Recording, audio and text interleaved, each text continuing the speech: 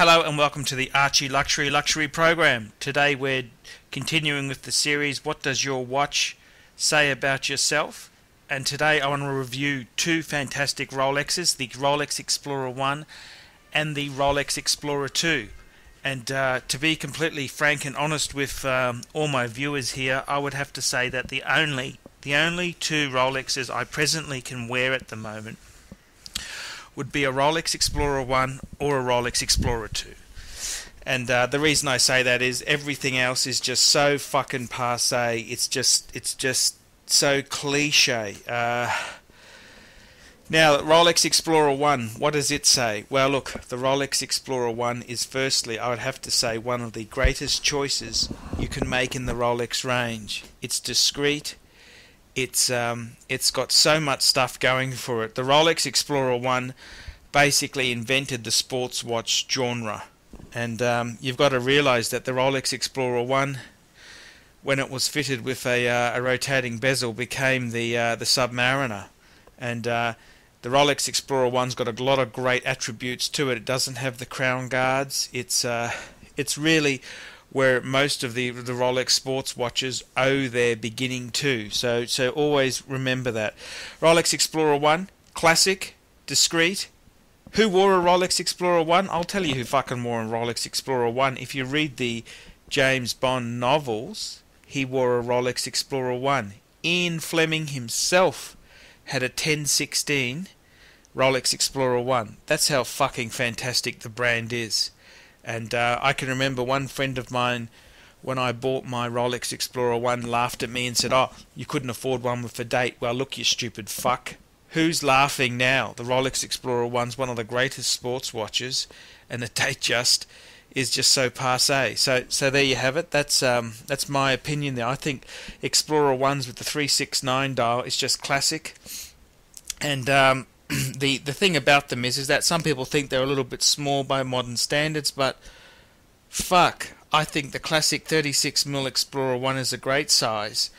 Um, I'm still a bit undecided about the the bigger size one. I mean, everything seems to be going bigger, and uh, in some ways that's okay.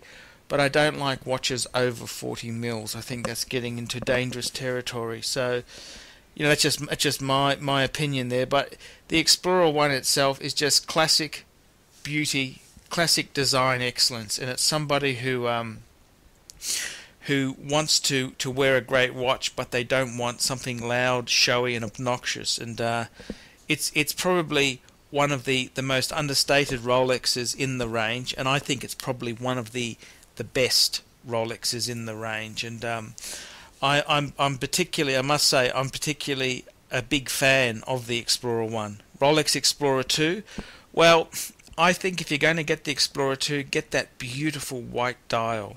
I think that's the the best dial combination to get, and um, I, I I'm I'm a huge fan of the Rolex Explorer 2 white dial, and, and I find the the two, two time zone system really good. I think that's a it's a great feature, a great complication to have on a watch.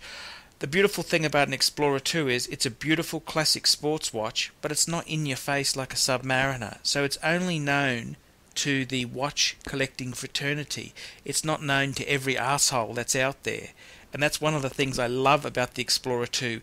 It's a discreet Rolex, if there's such a thing. And um, it's just so so iconic and so well done that I, I, I think you know you've got to really appreciate what the Explorer 2 is. And it, it's a watch you could just have an Explorer 2 and it would fit most most applications. It's it's a watch you could with the white dial, you could wear it with a suit.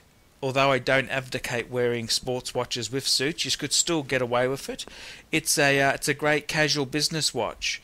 It's a great uh, sports watch as well. It's waterproof. You could you can do a lot of things with it and um, it's just a fantastic watch. You can put it on strap, you can um, you can dress it up. You know, you can you can play with it. So it's, it's a great it's a great watch.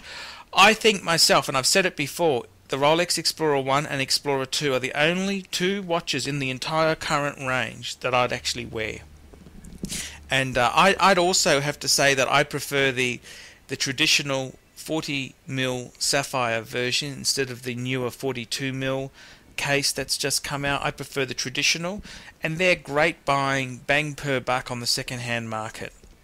And uh, you know that's one of the things about Rolex is that I don't think I could buy any new current Rolex. The Day Date 2, the Datejust 2, the new Explorer 2, the ceramic GMT, the ceramic sub, it's all fucking atrocious. I, I cannot wear a modern Rolex, and uh, the you know if you the only one in the range that I, I could wear in modern times is is a sapphire, ten to fifteen year old Explorer two, and my preference would be with case with holes and uh, the older oyster bracelet. That that would be my my first preference there.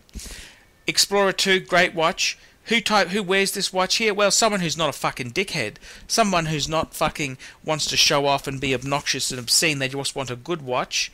They they want something that's that's quality and beauty without being obscene. And that's that's the type of person, a reserved person, conservative person, somebody with taste and style. They don't need to have Rolex flashed at everyone. It doesn't need to be a sub. they don't need a Submariner on their wrist. They're quite happy to have the Explorer 2 and just content knowing that they've got a beautiful Rolex. And uh, I've got to say this: it, it's um, the whole watch collecting world's gone mad, and uh, I really find it hard to wear any of the current Rolexes because they're so passe and just so fucking. They've really fucked the whole range up, in my opinion. And uh, the Explorer 2 from, from the 90s and uh, the Sapphire Explorer 1, they're fantastic buying secondhand. They're good buys, and uh, they're, they're a watch that you can you can wear for a lifetime and uh, and pass on to your children. They're, they're a great great piece, and I, I love both of them. So the, the Rolex, what does the watch Rolex Explorer 2 or Rolex Explorer 1 say about their owner? It says they're sophisticated. It says they've got good taste. It says that they don't need every arsehole to know what they've got on their wrist. Um, that's what it says. It says that they have some constraint and some decorum. That's what it says. It's everything that is everything that I'm against in Tag Heuer. All the pretend, the pretense, the fakeness. Explorer 2 is the complete opposite of a Tag Heuer. And that's that's why I love this brand so much. And this model, I should say. That's why I love this model so much. And uh, unfortunately, as I've said before in one of my other videos, the problem with a Rolex Submariner, it's a great tool watch. It's all the tools who wear it. Whereas the Explorer 2 doesn't seem to have the same fuckwits who've uh, picked up on that series. So you can, you really, Explorer 2 I think is, is, is, an ideal choice. It's, uh, I think an Explorer 2 is a much nicer watch than a Datejust.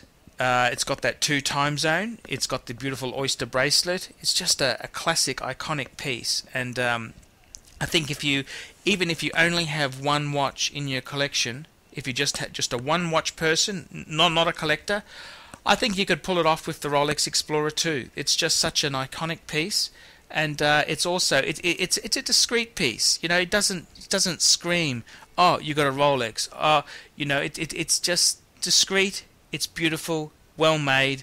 It's a fantastic watch, and uh, in my opinion, there it's one of the the greatest watches to have. And uh, the best thing about it is that it doesn't scream it's a Rolex. I'm Archie Luxury. Tell me what you think. Thank you very much for watching my video. Goodbye.